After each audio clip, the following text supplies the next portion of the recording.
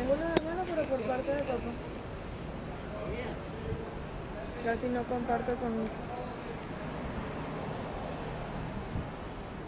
Mi papá es de esos hombres de la vida alegre. De esos que tenía un hijo por aquí, un hijo por allá.